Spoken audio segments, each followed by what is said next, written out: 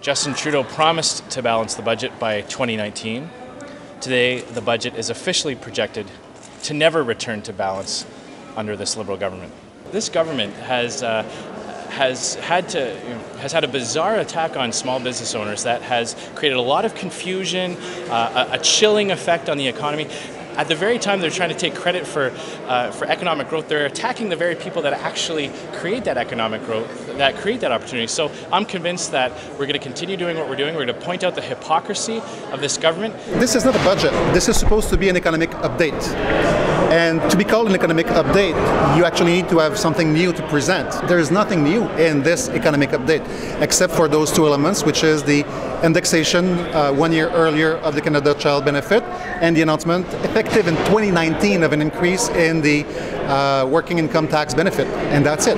So this is clearly to us an attempt to change the channel to the problems that the finance minister is actually experiencing right now.